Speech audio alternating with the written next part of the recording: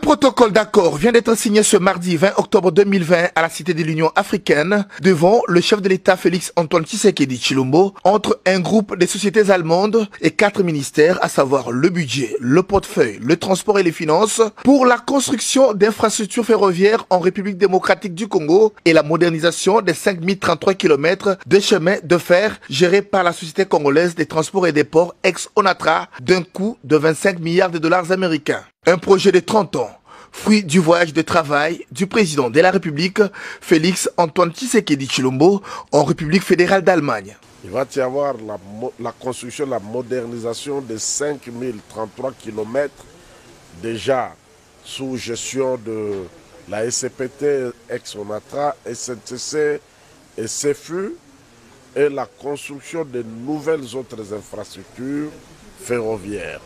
Ça fera au total 10 000 km de rails. Le coût global est estimé à 25 milliards de dollars américains pendant 30 ans. C'est un gigantesque projet qui pourra relier toutes les 26 provinces de la RDC par la voie ferroviaire, révèle ici Jean-Baudouin Mayomambeke.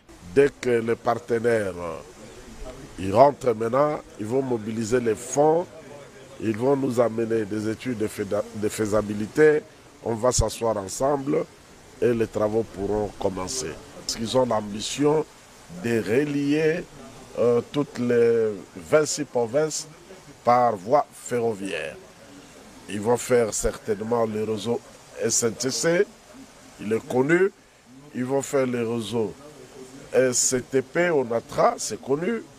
Ils vont faire le réseau euh, CEFU, dans le nord-est du pays.